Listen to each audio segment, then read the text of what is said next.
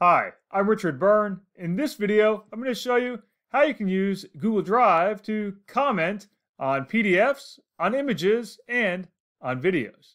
Let's go ahead and take a look at how to do this. So first of all, I'm in my Google Drive account, and let's start with a PDF.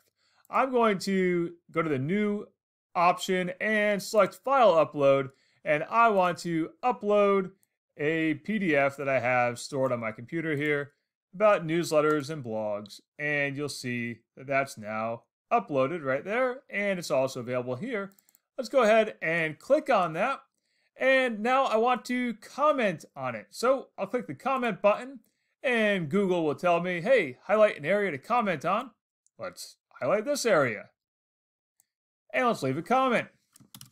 This is a great introduction.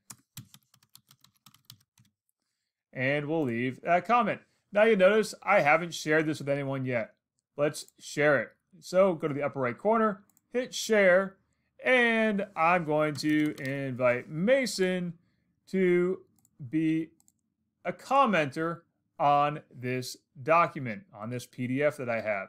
You can see here I could also make him an editor and he could still comment. If I make him a viewer, he won't be able to comment. So I'll leave him as a commenter and send that notification off to him. Now let's take a look at how you can do this with an image file. Now again, with an image file, you'd go to New and File Upload and upload your image. And I've already done so with an image that I have right here that I'm now going to open. And the process is the same as it was with the PDF.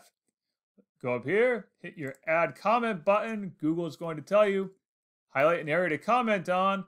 So I'm going to comment on this section right here and say, wow, that's a big airplane.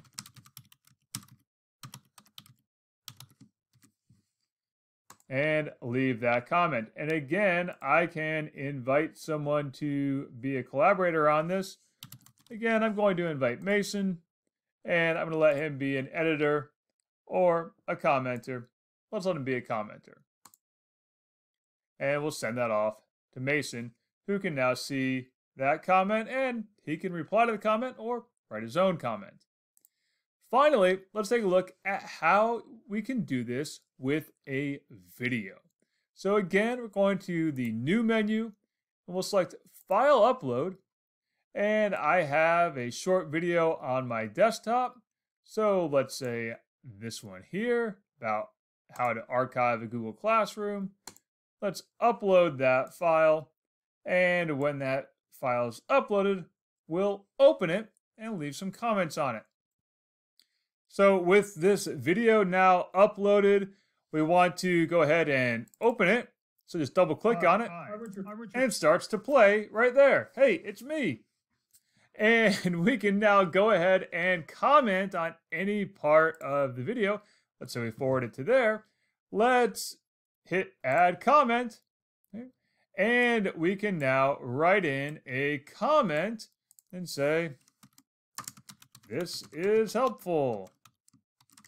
I was wondering about this and add a comment. And once again, I can go up here and share this file so that my buddy Mason here, he can also view my comments, write his own comments, and respond to my comments as well.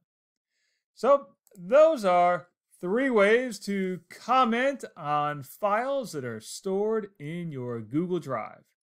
As always, for more things like this, please check out freetech4teachers.com or subscribe to my YouTube channel.